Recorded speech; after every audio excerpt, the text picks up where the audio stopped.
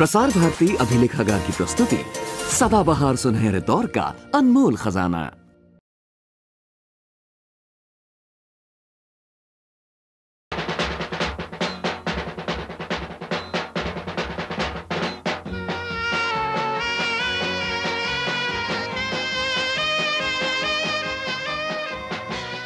दूसरे विश्व युद्ध की विभीषिका बढ़ती जा रही थी। हिटलर ने यूरोप जीतने के बाद रूस पर हमला कर दिया। दूसरी ओर, जापान ने अमेरिका के पर्ल हार्बर पर हमला किया। इससे युद्ध सच्चे अर्थों में, विश्व युद्ध में बदल गया। जर्मनी के हमले ने युद्ध की सीमाएँ पूर्व की ओर बढ़ा दी। उधर अमेरिका अब तक ब्रिटेन का मददगार था, पर अब उसे स्वयं युद्ध में उतरना पड़ा। जापान जितनी तेज़ी से बढ़कर सिंगापुर तक आ गया था उससे अमेरिकी राष्ट्रपति रूजवेल्ट और ब्रिटिश प्रधानमंत्री चर्चिल दोनों ही सहम गए थे।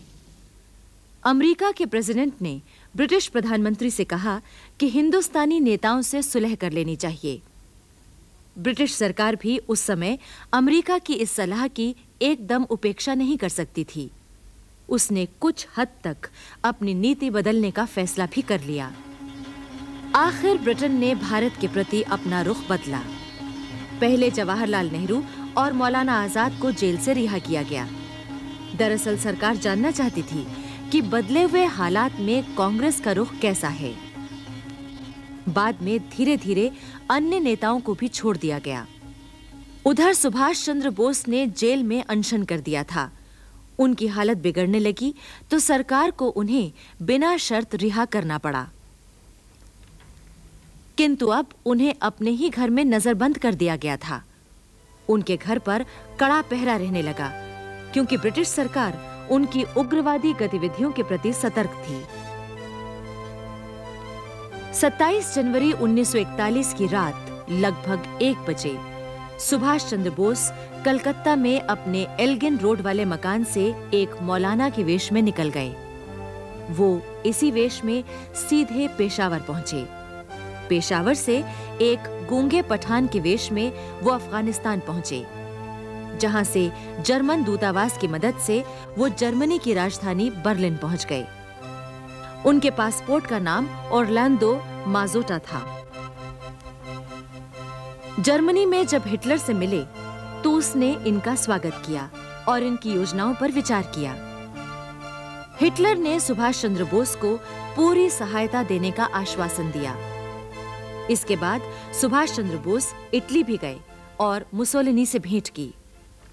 जर्मनी वापस लौटकर उन्होंने आज़ाद हिंद संघ और आज़ाद हिंद फौज की स्थापना की।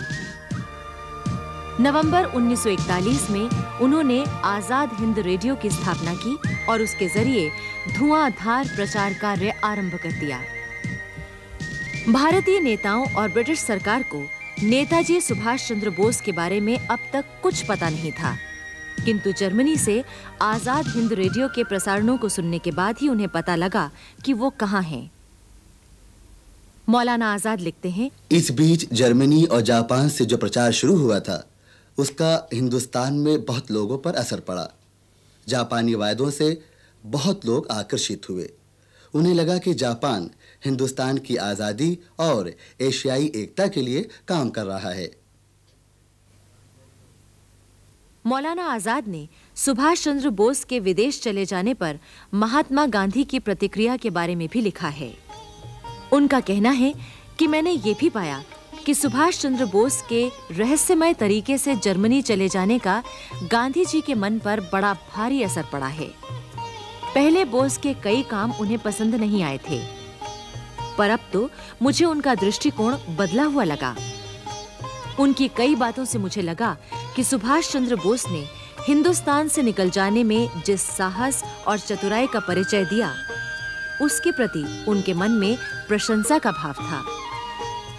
सुभाष चंद्र बोस के लिए इस प्रशंसा भाव ने अनजाने ही समूची युद्ध स्थिति के प्रति उनके दृष्टिकोण को प्रभावित किया था। उधर जापान में रास बिहारी बोस प्रवासी भारतीयों को संगठित कर चुके थे। दक्षिण पूर्व एशिया में Indian Independence League, Azad Hind Sangh की स्थापना हो चुकी थी और स्वयं रास बिहारी उसके अध्यक्ष थे। सिंगापुर विजय के बाद कैप्टन मोहन सिंह के नेतृत्व में आज़ाद हिंद फौज की स्थापना हुई और भारतीय युद्धबंदियों को उन्हें सौंप दिया गया।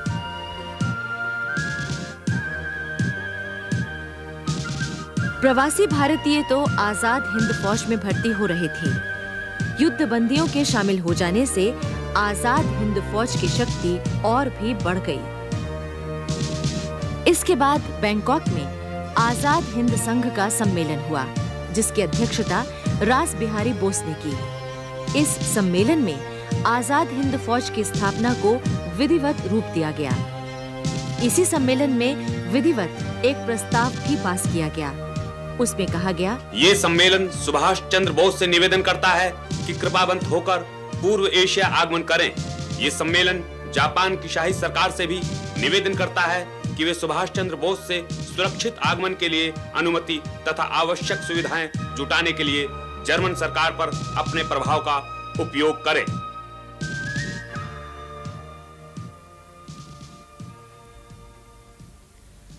रंगून के पतन से ब्रिटिश प्रधानमंत्री चर्चिल के हाथ पैर फूल गए। उसने तत्काल घोषणा की कि ब्रिटिश सरकार कांग्रेस का सहयोग प्राप्त करने को तैयार है। वो भारत की राजनीतिक और वैधानिक रुकावटों को दूर करने के लिए सर स्टेफोर्ड क्रिप्स को भारत भेज रहे हैं। सर स्टेफोर्ड क्रिप्स ब्रिटेन में युद्धकालीन मंत्रिमंडल के सदस्य थे। उन्हें भारत के शुभचिंतकों में समझा जाता था और ऐसा विचार था कि भारत की आज़ादी के प्रति उनकी पूरी सद्भावनाएँ हैं। सर स्टफर्ड क्रिप्स 22 मार्च 1942 को भारत पहुँचे और 20 दिनों तक उन्होंने भारतीय नेताओं से बातचीत की। वो समाजवादी थे और भारत के कई बड़े राष्ट्रवादी नेताओं से उनकी दोस्ती थी। इसलिए भारतीय जनता को आशा बंधी कि क्रिप्स के आने से समस्याओं के अच्छे समाधान प्राप्त होंगे। किंतु गांधी जी ने क्रिप्स के विचारों सुझावों पर दूसरी ही प्रतिक्रिया व्यक्त की थी। उन्होंने कहा क्रिप्स योजना ऐसे बैंक के पोस्टेड चेक के समान है जो फेल होने जा रहा है। गांधी जी ने क्रिप्स के साथ वार्ता में भाग लेने से पहले ही इनकार कर दिया था। लेकिन क्रिप्स ने गांधी जी से अपने पूर्व परिचय का इस्तेमाल किया और वार्ता में शामिल होने के लिए उन्हें मना भी लिया। क्रिप्स के सुझाव किसी को पसंद नहीं आए। उनका कहना था कि राष्ट्रीय सरकार अल्पसंख्यकों की रक्षा के लिए ब्रिटिश शासन के वादों के खिलाफ हो सकती है। इसलिए ब्रिटिश शासन ये कभी नहीं चाहेगा कि बहुसंख्यक दल सत्ता पर अपना संपूर्ण प्रभुत्व स्थापित कर ले। क्रिप्स ये भी चाहते थे कि नई सरकार में सभी पूर्वाधिकार वॉयसराय के पास सुरक्षित रहें। जवाहरलाल नेहरू ने इन प्रस्तावों को स्वीकार नहीं किया उन्होंने कहा मेरे पुराने मित्र क्रिप्स शैतान के वकील बनकर आए हैं और उनकी योजना को लागू करने का मतलब है देश के अनगिनत विभाजनों की संभावना के दरवाजे खोल दिए जाएँ। क्रिप्स योजना को मुस्लिम लीग ने भी ये कहकर अस्वीकार कर दिया कि इसमें सांप्रदायिक आधार पर देश के विभाजन की मांग नहीं मानी गई गांधी जी ऐसे किसी सुझाव को मानने को तैयार नहीं थे, जिसका मतलब ये था कि हिंदुस्तान लड़ाई में भाग ले। फिर चाहे वो प्रस्ताव हिंदुस्तान की राजनीति के लिए कितना ही अनुकूल क्यों ना हो। आखिर स्टेफोर्ड क्रिप्स के प्रस्ताव सभी ने नामंजूर कर दिए और उन्हें असफल होकर वापस जाना पड़ा। मौलाना आज़ाद ने कांग्रेस अध्यक्ष की हैसियत से घोषणा की कि ऐसा लगता है कि ब्रिटिश सरकार भारत की ठीक ठीक रक्षा नहीं करना चाहती है। उसे बस इसी बात का फ़िक्र है कि साम्राज्य कायम रहे। उधर बर्लिन रेडियो से सुभाष चंद्र बोस के प्रसारण जनता में नई चेतना जगा रहे थे। भारतीय जनता अब यही चाहती थी कि युद्ध में अंग्रेज़ों की कोई मदद न की जाए। सुभाष चंद्र बोस अपने प्रसारणों में कह रहे थे हमें युद्ध की स्थिति से लाभ उठाकर देश की स्वाधीनता जल्दी ही प्राप्त करनी चाहिए। इस काम में ब्रिटेन के शत्रुओं से मदद लेना कोई बुरी बात नहीं है। इस समय तक गांधी जी के विचारों में भी उग्रता आने लगी थी। वो कहने लगे थे कि भारत में ब्रिटिश साम्राज्य को तुरंत समाप्त होना चाहिए। ब्रिटिश सरकार के वादों से उनका विश्वास उठ चुका था। क्रिप्स मिशन की असफलता से सारे देश में निराशा और क्रोध की लहर दौड़ गई थी। जनता भी ये चाहती थी कि अंग्रेज़ों को भारत से चले जाने के लिए मजबूर किया जाना चाहिए, ताकि भारत अपनी समस्याएँ स्वयं सुलझा सके और अपनी रक्षा स्वयं कर सके। 29 अप्रैल से 2 मई तक इलाहाबाद में कांग्रेस महासमिति की बैठक हुई। इसमें गांधी जी ने तो भाग नहीं लिया, पर उनका मसौदा मीरा बहन ने पढ़कर सुनाया था। इस बैठक में एक संक्षिप्त प्रस्ताव पास किया गया। उसमें कहा गया, भारत अपनी शक्ति से स्वतंत्रता प्राप्त करेगा और उसी तरह उसे बनाए भी रखेगा। न केवल भारत के हित में, बल्कि ब्रिटेन की सुरक्षा और विश्व शांति तथा स्वतंत्रता के लिए यह ज़रूरी है कि ब्रिटेन भारत पर से अपना कब्जा हटा ले। गांधी जी ने दृढ़ निश्चय कर लिया था कि अब वो समय आ चुका है जिसकी उन्हें प्रतीक्षा थी। वो अब युद्ध का नेतृत्व करने को तैयार थे।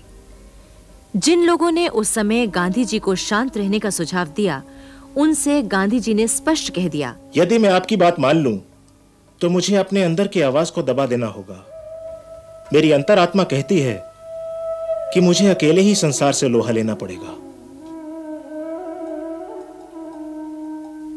उनका ये अटूट विश्वास था कि इस बार जो लड़ाई होगी, वो व्यक्तिगत स्तर से नहीं, सामूहिक रूप से होगी। ये खुली चुनौती थी। गांधी जी के इन विचारों को सुनकर सारा संसार आश्चर्यचकित रह गया था।